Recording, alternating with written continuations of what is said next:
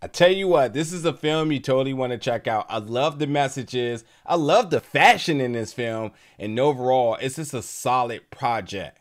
Folks, let's get to my review of the new film, Appendage.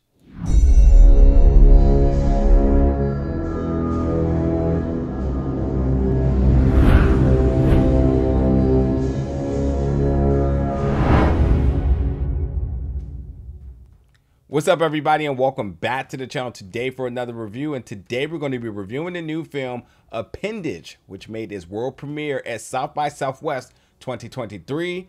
And keep your eyes out for it as it will be releasing on Hulu very, very soon.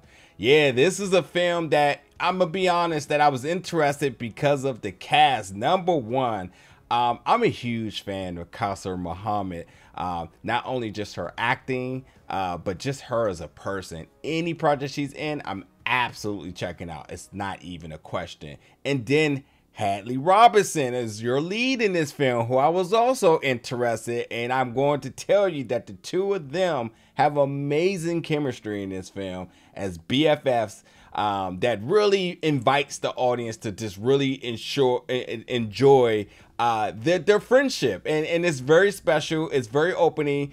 Um, but at the same time, too, uh, these are two friends that are battling some frustrations. And I think like um, any artist can relate to some of the frustrations here. But when you start to dig deeper and deeper into the root of what this film is trying to uh, explore, oh yeah, I think a lot of people are going to have a lot to talk about here. Um, and this film is listed as a comedy horror.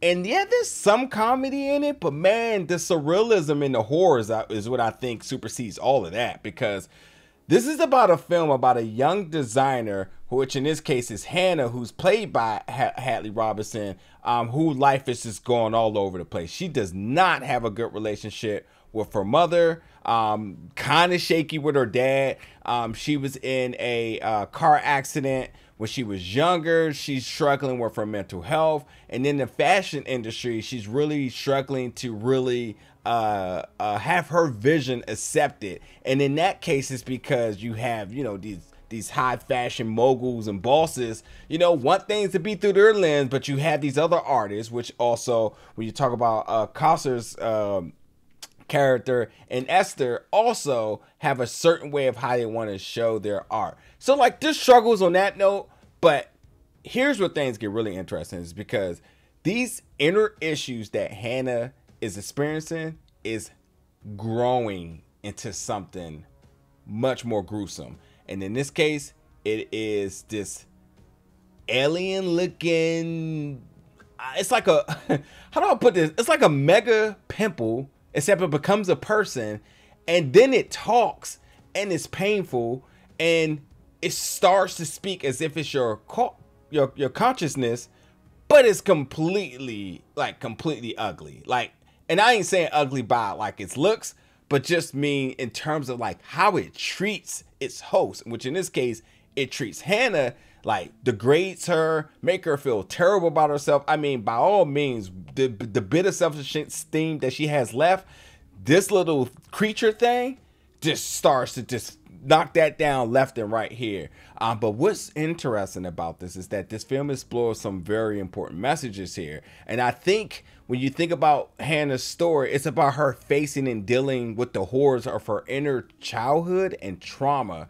And now we start to see those inner issues start to grow into something what happens to be this creature. So and when you and when you think about this creature it almost becomes like the wounded inner child to her which is basically growing and growing into something till it ultimately wants to well claim its host.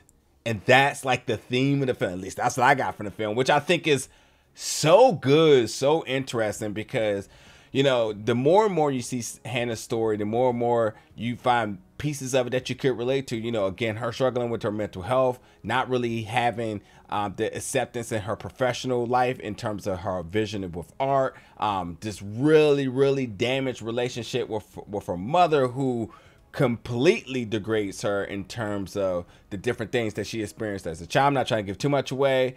And then it's just it's just really difficult. And not only just that too, like Hannah dating life ain't oh ain't so good as well too.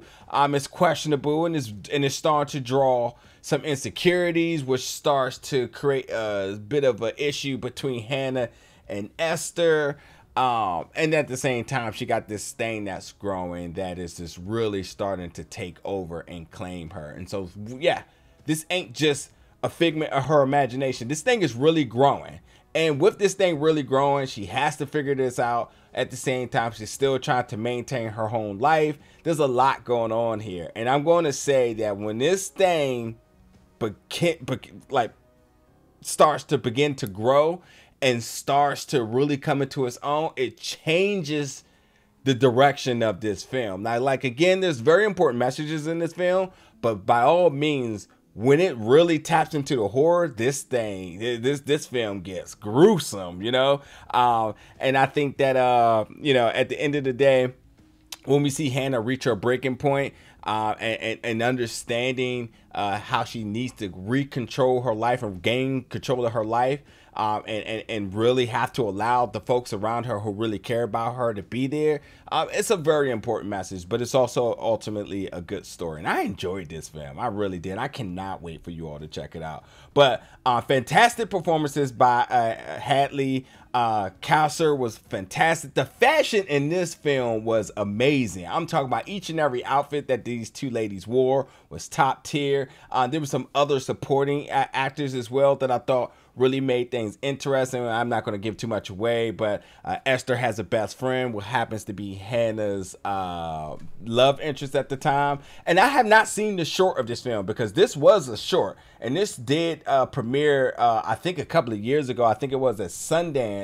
Um, to kind of really see this film uh, come from a short um, and, and and then grow to what this film is now makes me even more intrigued to see where it started from because this is a solid overall film and there's nothing more exciting to me when a when when a, when a director gets an opportunity to take their short film, make it a feature length film, uh, have a budget to do so, and then put out a good project, you know. And I'm really interested in seeing what the director Anna is going to do next because this was a good one, a good a good mix of horror, some comedy. There definitely was some laughable moments, but some of it couldn't be a little bit triggering because again, the things that Hannah was dealing with, I I, I can tell you that there may be folks who has you know battled with uh, insecurities and self confidence that you know it's not it's not so funny but when people jab at it and the way how this little creature thing that was going out of her was going at her the way she was yeah it can be a little bit comedic but yeah it is very triggering and not funny at all. But overall it's a must watch. Check this one out folks. You get in the comments once you do and let me know your thoughts about it. And as always stay tuned for more reviews very soon